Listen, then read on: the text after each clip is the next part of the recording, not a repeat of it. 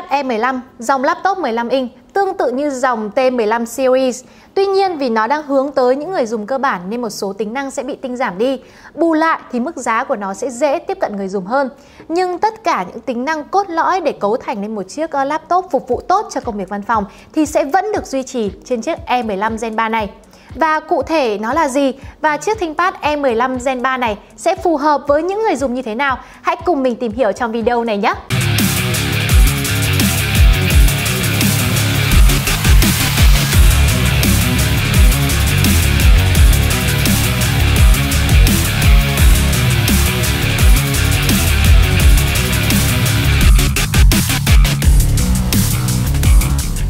Đầu tiên là về thiết kế.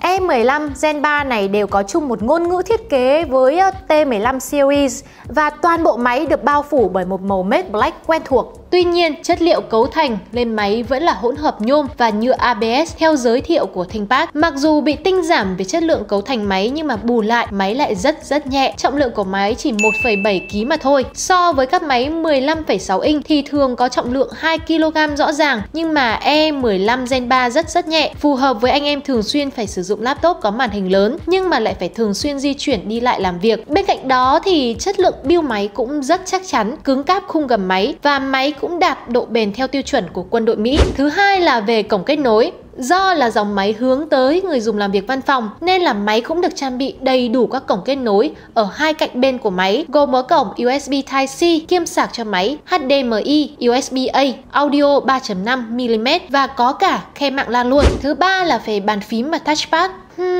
Bàn phím E15 thì cũng tương tự như các bàn phím ThinkPad khác. Tuy nhiên thì có một điểm trừ nho nhỏ của chiếc máy này là bàn phím không có đèn sáng backlit, nên dùng buổi tối thì sẽ khá là bất tiện một chút. Touchpad của máy thì cũng khá mượt và ổn. Tiếp theo là về màn hình.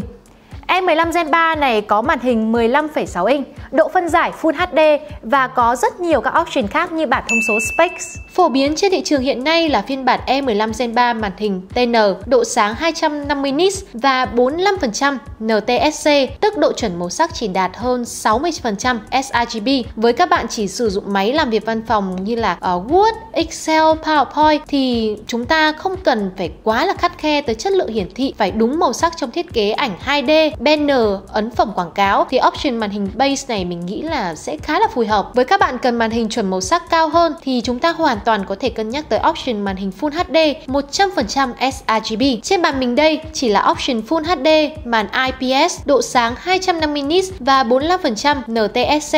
Hình ảnh hiển thị khá tương đồng và có xu hướng định mắt. 5. Cấu hình ThinkPad E15 Gen 3 này được trang bị các tùy chọn cấu hình Ryzen 3, 5, 7 như bảng thông số Specs. Chiếc máy E15 trên bàn của mình đây đang được trang bị CPU thuộc dạng top Ultrabook hiện nay với Ryzen 7 5700U có tận 8 nhân và 16 luồng, cực kỳ mạnh mẽ, RAM 16GB và SSD 512GB với mức giá bán chỉ hơn 19 triệu tại minh vũ.vn thì đây rõ ràng là một lựa chọn ngon bổ, rẻ, đáng để các anh em cân nhắc. Bởi mua option này về là khỏi cần phải nâng cấp gì quá, đủ dùng cày việc ngay trong vòng từ 4 đến 5 năm tới. Mình có mở thử các tác vụ công việc văn phòng cường độ cao liên tục trong vòng 2 tuần mà máy vẫn chạy cực kỳ mát. Hiếm khi quạt gió phải kêu to và liên tục, chỉ khi mình bật cùng lúc rất nhiều tác vụ Word, Excel, PowerPoint và mở cả edit ảnh Photoshop, edit cả video Premiere thì quạt gió mới chạy nhẹ. À, nhân tiện nói về tản nhiệt thì khe tản nhiệt của E15 đã được đặt ở phần phía sau của máy. Do đó mà sẽ không gây khó chịu như các máy ThinkPad khác mà có khe tản nhiệt được đặt ở cạnh hai bên. Mình có mở thử render video test project Premiere quen thuộc thì máy cho hiệu năng render rất là ấn tượng, chỉ mất có 4 phút 10 giây để hoàn thành. Đặc biệt là nhiệt độ của máy thì rất rất mát, chỉ duy trì ở mức ở dưới 75 độ C, rất là mát mẻ luôn. Với CPU mạnh mẽ 8 x 16 luồng như này thì E15 Gen 3 hoàn toàn có thể chơi tốt các tựa game online nhẹ nhàng như là Liên Minh, FIFA Online, CSGO, Valorant Valorant ở mức giải trí cơ bản thoải mái. Thực sự là với nhu cầu học tập này hay làm việc văn phòng cơ bản thì mình sẽ khuyên các bạn chỉ cần chọn ThinkPad E15 Gen 3 với cấu hình là Ryzen 5 5500U 6 x 12 luồng là đã quá ok rồi.